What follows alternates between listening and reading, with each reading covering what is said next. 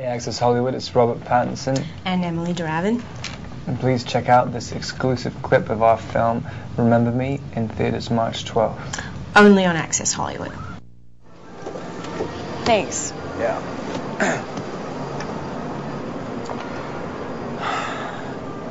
so, uh,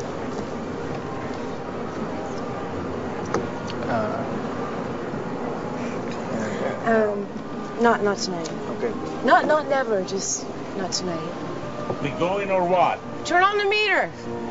Uh, never. So, um, so deserve first uh, for fear of asteroid. Yes, but um, kissing a guy you you seem to be attracted to, at least uh, before driving off into the unknown New York City night alongside a hand that you only just met.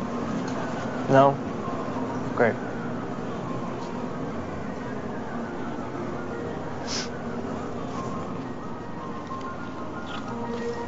Great. You're really weird.